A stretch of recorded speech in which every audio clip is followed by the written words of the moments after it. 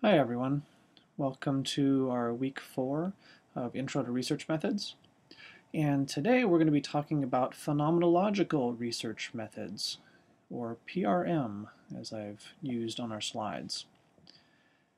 And phenomenological research methods um, are really focused on a thick, rich description. You'll hear me say that several times of lived experience. The texts that we're going to be using for today and for this week are a few sections of Creswell's qualitative inquiry and research design using, uh, rather choosing among five traditions.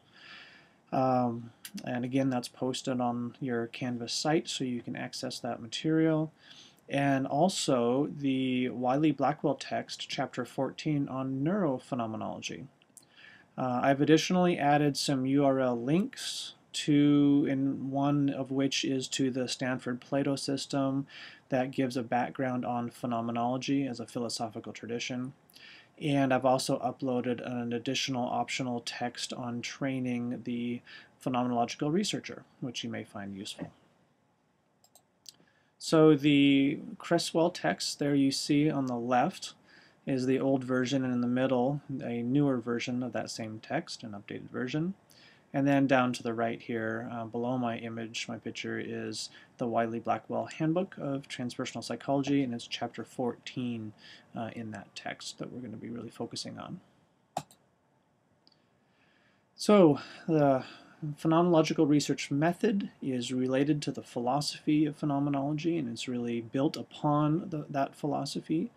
There's the web link that I did add uh, to our Canvas site, but you can see it here um, in case you can't access it for some reason or you need it um, and you're not on our Canvas site.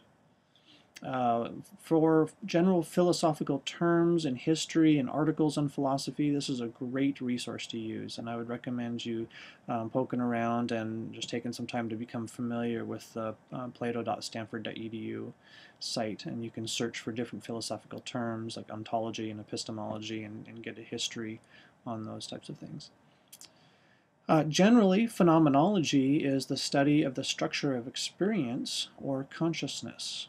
It's um, basically asking the question, how do we have our lived first-person experience?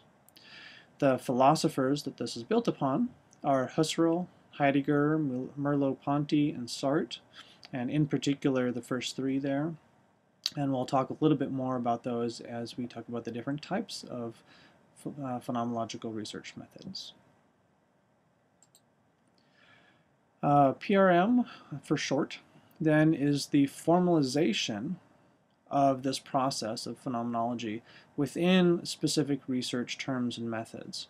So it's, it's uh, taking phenomenology, the study of, and really formalizing it as a research process uh, to be used with, um, for our tradition, psychology, um, but it can be used not just in psychology but in other uh, realms as well, anthropology and, and different areas. But um, it's really the formalization of that um, research, that inquiry process, and um, an attempt, there have been attempts to standardize um, but the, like all good standardization, there's people who rise up against it and say, no, no, no, you can't standardize. You need to let it uh, flow more smoothly. And um, but that's a different conversation. Um, so the PRM is focused on thick, rich description of first-person accounts. And um, there are three basic types that I want to talk about today. Uh, the traditional division that I've always been um, trained in, uh, I guess that would be the way to, to say it, is the classical and hermeneutical. The classical research method, phenomenological research method, comes out of the Husserl and Merleau-Ponty tradition. The hermeneutical or interpretative tradition comes through Heidegger and also um, one of the researchers that have written about this is Clark Moustakas. And he actually uh, wrote a text in 1994 specifically on phenomenological research methods. Uh, so if you're interested in this tradition, make sure to look at his um, his writings as well as some of the other more recent writings on PRM and how it's actually functionally been used and um, utilized within different types of research. And the third research method that I'm going to be talking about under this category is neurophenomenology. And that's actually the chapter in the Wiley Blackwell, uh, Blackwell text that I'm, I'm going to be covering. Um, the folks that really founded this are uh, Laughlin and Varela and, uh, and their predecessor, their uh, proteges came from, uh, came from them. Lineage, I should say. All right. So classical phenomenological research method, again, comes largely from Husserl and um, that lineage. Uh, Husserl says essentially that we can be aware of our perception of lived experience. Um, he also used the term um, epoché and uh, discussed how one can bracket out one's assumptions and beliefs. An epoché actually means to abstain from belief and um, and really it was focused on beliefs about existence and in the natural world but um, the bracketing process within the, the research method, classical research method, has focused on bracketing the researcher's assumptions about a topic of inquiry and setting that aside in order to try and be more objective in their approach to their topic at hand. Um, so it's, it's leaning away from integrating the, the researcher and trying to stay focused on the research participants and their narratives that they're sharing. It's considered often a more objective analysis of first-person experiences. And again, the researcher interviews participants, a few, and focuses on their rich, thick description of an actual experience. And when they report that and they do their analysis, they stay very close to that description. Um, classical PRM also can be very structured. There are some uh, classical research method writers who go who talk about a specific set um, series of processes that you take your data through your um, your uh, descriptions and your your transcripts that you have accumulated from your participants um, often multiple transcripts from a one participant um, so if you have uh, three participants or five participants and you have three three interviews from each one you could have 9 to 15 transcripts um, just on those several individuals but anyway, um, you take that those transcripts and you take them through a specific process of analysis, and um, it can it can be very structured. But the point of that is to really focus in on uh, the description of experience that is held within that uh, those participants' uh, um, uh, interviews. The second is hermeneutical, and a phrase that's been used more recently is interpretative an interpretive, uh, interpretative uh, phenomenological analysis, or IPA. But essentially, we're really um, talking about the hermeneutical uh, uh, phenomenological research method. And this tradition comes through the Heideggerian lineage. Uh, Heidegger was uh, responding to Husserl and uh, essentially saying that whatever lived experience we have, it's inherently uh, filtered through our own interpretation, our own lenses of being a person that's embedded within culture and within society, and with even having a particular language, can um, add an interpretive lens when we're either talking about our own subjective experiences or when we're a researcher looking at other people's or hearing other people's experiences. We have these lenses that are, are um, uh, inherently in place and that we cannot remove, uh, is what Heidegger would say. So um, again, focuses on lived experience, and it's, all lived experience is inherently within this world, um, and we're surrounded within particular contexts. We can't bracket it out, but we can name our assumptions, and we can give our own uh, um, first-person experiences with the topic, uh, research topic at hand, and by doing that, we can come to a better understanding of how our own interpretations and our own lenses are potentially influencing what we're hearing from our participants and how we're interpreting our participants' experiences. Now, one way to talk about this is to say, uh, to talk about biases and how our interpretive lens might bias what we're hearing from our participants in a particular slant. Um, say that we're only hearing certain things that we are able to hear because of our lens. But another way to talk about this is that because we have first person uh, lived experience with the topic at hand, we inherently have an interpretive lens that makes it unique for, for us as a researcher to look at the experience uh, in question in a particular way. We, we have first person experience with it, and then because of that, we're going to be looking for certain things that another person might not be able to look for because they haven't had that experience. Um, an example might be if a person, if you're talking about um, the first person lived experience of zikr within the Sufi tradition. Now, if no one, if a, if a researcher has not been in, uh, engaged in the zikr practice within the Sufi tradition, it's going to be very hard for them to have a lens and have the right set of questions and the understanding of that particular lived experience of someone who has been to zikr and has been engaged in Sufi practice. And so somebody who comes from that tradition is going to have um, a different, uh, a different language, a different way of viewing the experience, and and be able to get at a, um, potentially get at a much uh, richer description of that experience because they can ask the right questions, and so um, that's that's the um, other way of looking at it. Rather than calling it a bias, you can say it's actually really a, a good advantage uh, when you're doing this type of uh, descriptive uh, research. So there are issues of language, again, like I was saying. Um, there's ongoing discussions um, that uh, you know the language that we learn within our culture has a reciprocal effect on our brain and our neurological structures. Different languages affect us in different ways. Some languages are more relational. Some languages focus on objects um, more so than relationship between objects. Um, some languages, like English, are very uh, action-oriented.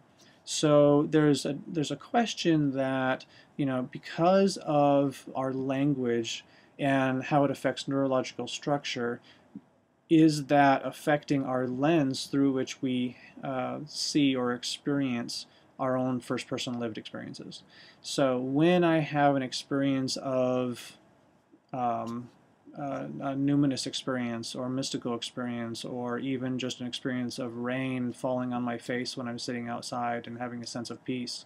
Um, when I start to put that into language and I start to describe that to somebody else, those are actually two different layers. One is internal, one is the externalization.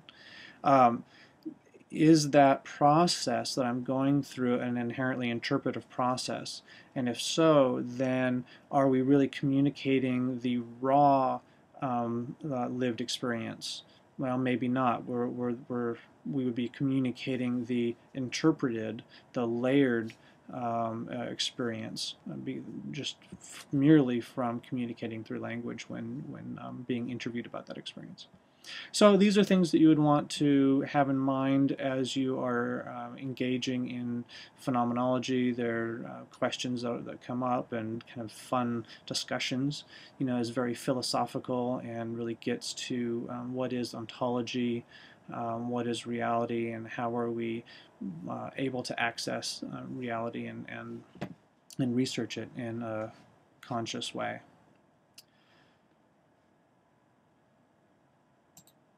The third area is neurophenomenology. And this tradition is uh, newer to me as well as newer in, um, in the research methods world. Um, in the 90s, uh, late 80s and 90s, um, is when it's, it started emerging. You have in the uh, chapter, neurophenomenology chapter, um, you'll hear about the history of this tradition and how Laughlin um, invited Varela to a conference and they um, were sharing their um, their thoughts and ideas and how out of that emerged this tradition. Uh, it's very interesting to see see how that came about. Um, neurophenomenology is essentially the combination of phenomenology, which is the study of consciousness and first-person lived experiences, and uh, neuropsychology or neuro neurological studies, uh, not just neuropsychology, but neurological studies, and which is essentially the utilization of neurological measures like EEG, uh, fMRI and different uh, ways of looking at the structures of the brain and the processes of the brain. As uh, so, what, um, for example, something that might be done within this tradition is have somebody, you know, think about um, a, a memory that they had as a child while they are in an fMRI. And so the, the study could be focused on does that memory or having that memory, recalling that memory, um, elicit a certain emotional and cognitive state, and if and when that state is elicited, what's physically going on in the brain itself, and then you can start to pair those up. So you can see how um, neurophenomenology might be very useful and valuable. One of the things that I found very important in this chapter is that the authors say it is best to have participants who are well versed in introspective practices, such as very experienced meditators, people who are used to creating certain states of consciousness, being able to hold their attention in a certain way so that the uh, neurological tests can be done um, now, that doesn't always have to be the case. Not all the participants have to have that level of um, expertise, but it helps if you're looking at particular states of consciousness or uh, uh, intention, attention, and these types of things. Uh, one of the things that was not mentioned in this text, what, which came to my mind though, was a series of studies done with uh, Lama Oser. Now this, if you want to find the text on this, there's actually a book called Destructive Emotions, and it's written with uh, His Holiness the Dalai Lama, and um, but the the book talks about you know, scientists who visited with the Dalai Lama and did research and, and asked questions about emotions and, and how emotions can be just destructive and everything. But the point is, is there, there's, an, uh, there's a section in there that talks about the research that was done with um, a person they call Lama Oser. That's not, his, not the Lama's real name. Um, they use a pseudonym.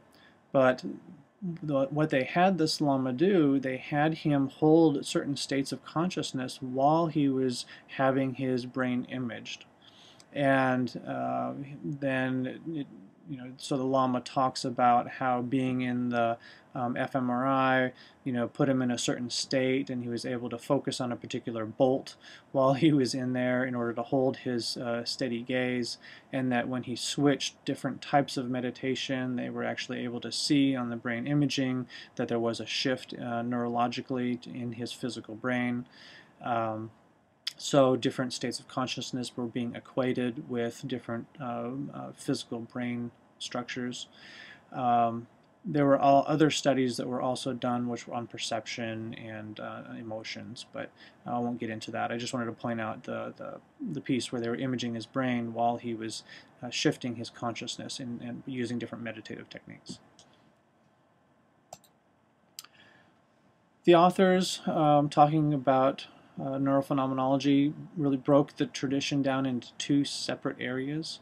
There were the cognitive neuropsychologists, or neurophenomenologists rather, um, like Varela, who uh, who hold a particular orientation towards uh, cognitive neurophenomenology. And one of the quotes I appreciated here from Varela is that it's a process of external emergence with well-defined neurobiological attributes and description that stays close to our lived experience. That's how he describes cognitive neurophenomenology. And um, this tradition focuses on the embodiment of consciousness. Well, actually, these are several areas that have been studied using this tradition. Embodiment of consciousness, uh, self-consciousness, hypnosis. Uh, often these folks are the philosophers and the psychologists. Uh, they often do experimental research, like I was just talking about with Lama Oser. Um, you have individuals who are using helmets, um, you know, EEG helmets that are uh, EEG uh, nodes and electrodes on the brain while having people in certain meditative states or um, uh, remembering having certain spiritual adepts remember uh, experiences they've had while engaged in spiritual practices and looking at, at different um, patterns that change within the brain. Um, there's all sorts of research that's been coming out um, with this regard. The other tradition within neurophenomenology is called cultural neurophenomenology, and this is Laughlin's tradition. These are by and large anthropologists and transpersonal anthropologists included. Their experiments are more, well, actually non-experimental. The research is more non-experimental and it's more naturalistic, uh, going into different cultures, going into different um, places and interviewing them in depth. Uh, the focus within this tradition is on culture and cultural impacts on consciousness and conscious awareness. Um, how our cultural or social context influences our first-person lived experience. And um, so that uh, combined with the neurological overlay and, and kind of reading the uh, how the neurological correlates map onto the um, awareness and, and different states of consciousness from around different cultures and how there might be differences between different cultures. Some research has been done in this area. Um, in particular, our religious and spiritual practices, uh, time consciousness, dreaming and dream culture, uh, experiences of healing, spontaneous healing or uh, induced healing from shamanic practices or, or different types of things. So, um, very transpersonally oriented So in summary, the phenomenological research method is a research method which focuses on collecting data from a very few participants, sometimes as little as one, um, you'll see eight, maybe even up to ten, but the, really the numbers here are very small because you have to get so much data from one person. Uh, so from a few participants in which they describe in detail their first-hand lived experience of a very particular experience, uh, often over a very short time frame. We're not talking about uh, long processes that, that happen over years. We want to have um, a study of something that's very time limited, very focused. The analysis can include interpretation or not, depending on which tradition you go into, but it always focuses on rich, thick descriptions of the experience. And that's, uh, that's a key. This is a descriptive process, uh, descriptive research method. Others try and look at how people change um, or you know the experimental method or even some qualitative methods they look at how people change due to a particular process or um, how people describe certain um, change processes well the description of change processes could fall under here but really um, this method is on description of an experience so that's key those of you thinking about this method, um, you know, think about whether you really want to engage in that, that thick description just of an experience from that a few people have had. So this week's assignment. So in the Creswell text, uh, there are sections that are posted online. There is a case at the end of that. Very great uh, case uh, that has to do with nurses. So please look at that case, read it, and analyze that case using the worksheet that I've posted online. Note, when you are uh, doing your analysis, please, please make sure to refer to the texts you have read this week when performing your analysis. And also, I think goes for the discussion as well. When you're posting your discussion, refer to the texts. That's why we're here. It's not just about throwing opinion around. It's about uh, embedding um, and, and um, uh, processing what you're learning as you're engaging these texts. And that way we can have a um, level of discussion online that is focused on the text and really engaging that material. So for the discussion this week, please describe your understanding of the phenomenological research methods and how it is used. Secondarily, what topic might you use this method with? How would you structure the study and would you choose classic hermeneutic or neurophenomenological method? And finally, list several questions which came up for you while you were reading the texts. All right, well, I look forward to our discussion online and we'll see you soon.